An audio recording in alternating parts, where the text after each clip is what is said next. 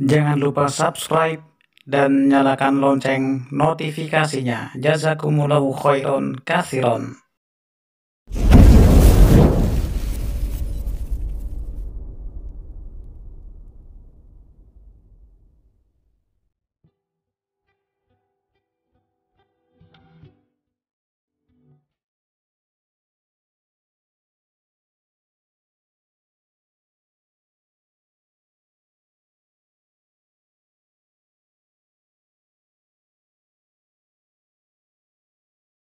Alhamdulillah bersyukur kita wa haula wa la quwwata Bapak Imam dan Masjid Fadolo dan jemaah sekalian insyaallah Allah Subhanahu wa taala. Alhamdulillah hari ini tidak seperti biasanya. Ya tentu saja salat asar atau pulang. Tapi alhamdulillah kata Allah atas izin Allah ya kata Allah Subhanahu wa taala hari ini salah satu saudara kita yang sebelumnya berkeinginan lain berkeyakinan lain dengan kita hari ini hidayah Allah Subhanahu wa taala Insya Allah saat lagi akan mendengarkan dua kalimat syahadat sebagai pengakuan keesaan dan terima besar Allah Subhanahu wa taala. Subhanallah kita bicara ini kita kita berdiri. Jadi sebelumnya saya sampaikan kepada Bapak jamaah sekalian bahwa saudara kita yang namanya Cynthia Diabetes ini kurang lebih sekitar dua bulan yang lalu, hampir dua bulan yang lalu sudah pernah berkomunikasi dengan saya. Saya dan Profesor saya sebagai sekretaris Majelis Ulama Indonesia Kabupaten Serang Bagian Timur. Kami sudah ketemu dan saya sudah mengecek pasti saya bersangkutan alasan-alasan kenapa dia harus memeluk agama Islam dan sudah secara jelas dan banyak dijelaskan kepada saya. Dan kami sudah menjelaskan di beberapa yang lalu karena masih ada kesibukan kesibukan kami sehingga mungkin Allah mendatangkan 50 ribu tahun yang Allah Allah datangkan bahwa sendiri hari ini harus dinyatakan dua kali. Semoga Allah mendukung dunia memberkahinya menjadi seorang muslimah yang uh, sebelum nanti kita minta penjelasan sedikit dulu dari ini kan penjelasan secara singkat saja kepada saudara-saudara sini memperkenalkan dirinya. Jadi beliau ini kalau sesungguhnya adalah seorang pendeta yang bertugas di Tanimbar ya. Di Slovakia menuju Tenggara Barat. Inilah seorang pelayan agama. Dan hari ini rela meninggalkan segala fasilitas kemewahan dunia yang diberikan kepadanya demi untuk bergabung dengan kita di wala ilaha illallah jadi mungkin nanti yang bisa menyampaikan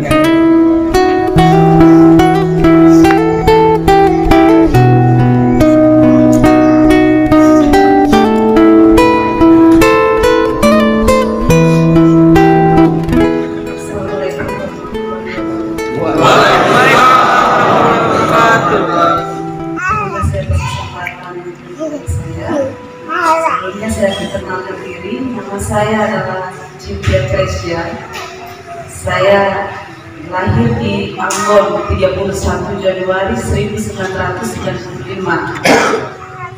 Kemudian saya lahir dari pasangan suami istri.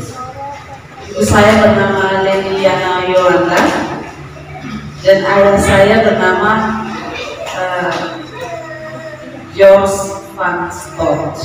Belanda. Ayah saya seorang warga negara Belanda, seorang pol eh, polisi. Eh, pada saat saya lahir, ayah saya kembali bertugas di negaranya sendiri. Kemudian saya eh, menempuh pendidikan sekolah Alkitab di University of Glen Pictures, Bali. Kemudian saya setelah lulus pada usia 21 tahun, saya memimpin sebuah jemaah di Maluku Tenggara selama tiga tahun. Kemudian uh, setelah itu saya dipindahkan untuk mengabdi pada sebuah yayasan yang ada di Bali karena uh, saya banyak hal yang tidak sependapat dengan uh, kemimpinan gereja. Kemudian saya pindah untuk mengabdi tepatnya pada anak-anak asuhan. Setelah itu tepatnya pada tahun 2020 saya kembali ke Ambon karena sebuah tugas dalam pekerjaan. Nah, pada tahun 2020 itulah untuk pertama kalinya saya mendengar suara azan berkumandang. Dan pada saat itu hati saya hancur. Kemudian saya mendapat hidayah dari Allah.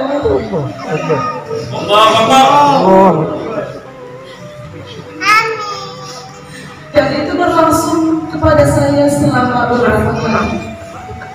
Kemudian saya memutuskan untuk saya mengundurkan diri dari kemudian gereja. Saya pindah dan tempat tinggal saya ada di depan gereja eh, di depan masjid Al Fatah. Saya tinggal di situ selama beberapa bulan. Dalam eh, tugas pekerjaan saya adalah pendeta aktif. Dan pada saat saat itulah saya minta sama Allah dapat menolong saya. Saya minta sama Allah dapat menolong saya dengan cara apa pun. Karena saya percaya Allah itu eh, yang maha kuasa. Kalau Allah mengizinkan saya untuk saya harus mendapat hidayah saat saya mendengar suara azan berkumandang. Berarti Allah juga sanggup untuk mempertemukan saya dengan orang yang sanggup membimbing saya. Takbir ya Allah. dan saya bersyukur bahwa saya ada Menolong saya dengan banyak orang yang saya tidak kenal sebelumnya. Saya tidak mengenal Pak Imam saya tidak mengenal Bapak yang ada di KUA saya tidak mengenal Pak Ayu Bokas saya tidak mengenal Ibu Haji tapi mereka semua dapat menolong saya. Dan saya bisa ada sama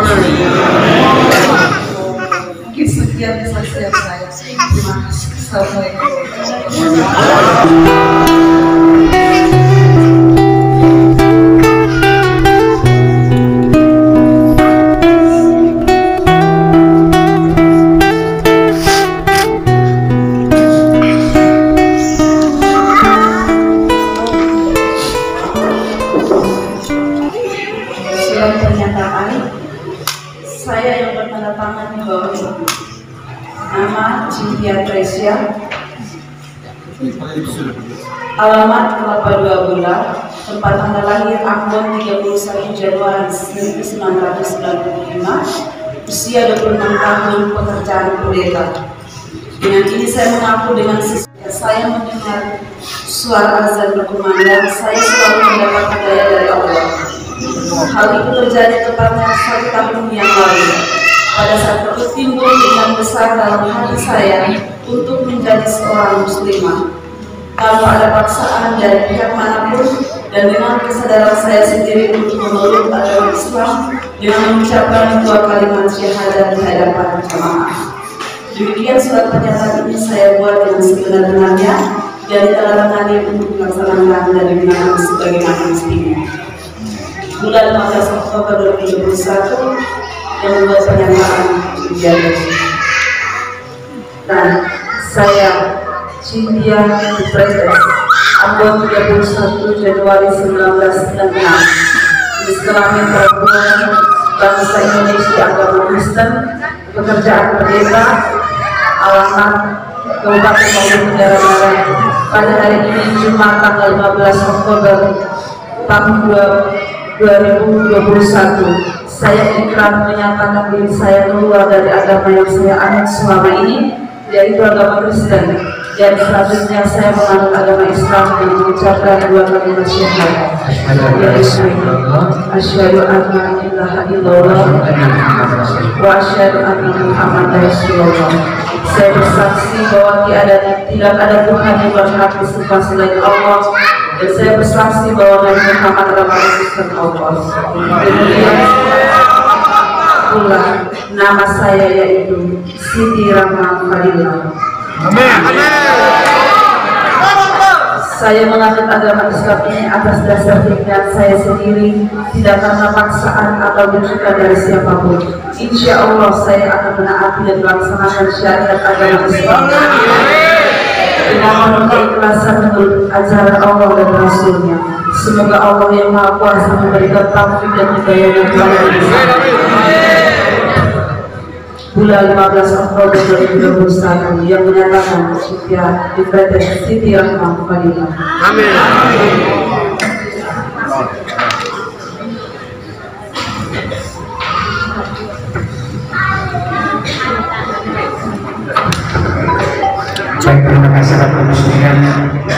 Abang semua jadi saksi atas kesadarannya telah hidup agama Islam agama yang diberi Allah Subhanahu wa taala.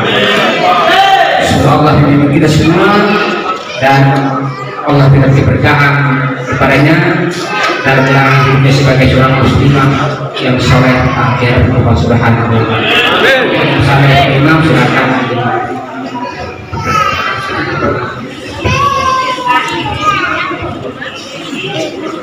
الحمد لله رب العالمين. اللهم صل وسلم